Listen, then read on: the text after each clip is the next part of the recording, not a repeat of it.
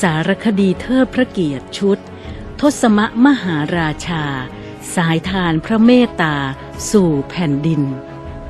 ไม่มีพระองค์ในวันนั้น ไม่มีบ้านหมากแข้งในวันนี้ บ้านหมากแข้งตำบลกกสะทอนอำเภอด่านซ้ายจังหวัดเลย พื้นที่หุบเขาบนดอยสูง ที่เป็นเป้าหมายของผู้ก่อการร้ายคอมมิวนิสต์ ซึ่งพระบาทสมเด็จพระบรมชนากาธิเบศรมหาภูมิพลอดุลยเดชมหาราช บรมนาถบพิตรสมเด็จพระนางเจ้าสิริกิติ์พระบรมราชินีนาถพระบรมราชชนนีพันปีหลวง ได้เสด็จพระราชดำเนินทรงเยี่ยม ในช่วงปลายเดือนธันวาคม 2516 บ้านหมากแข้ง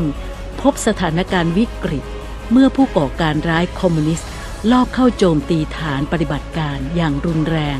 ตั้งแต่เช้าตรู่ของวันที่ 29 ตุลาคม 2519 ตำรวจเสียชีวิตและบาดเจ็บสาหัส กองบัญชาการผสมพลเรือนตำรวจทหาร 1617 ได้ส่งเฮลิคอปเตอร์มารับ ขณะที่นักบินกำลังนำเครื่องขึ้น ได้ถูกผู้ก่อการร้าย ยิงตกลงมา ทับหลังคาบ้านเรือนราษฎร บ้านหมากแข้ง ถูกปิดล้อมทุกทิศทุกทาง ตำรวจหน่วยปฏิบัติการพิเศษ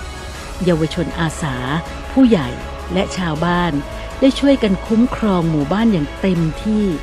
และพยายามขอกำลังการช่วยเหลือ ทั้งปืนใหญ่เฮลิคอปเตอร์ gunship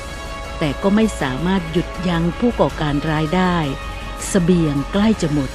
กองกำลังที่ถูกส่งไปช่วย ถูกซุ่มโจมตีระหว่างทาง ทหารและพลเรือนเสียชีวิต 11 นาย ชาวบ้านยิ่งขวัญเสีย ณช่วงเวลานั้น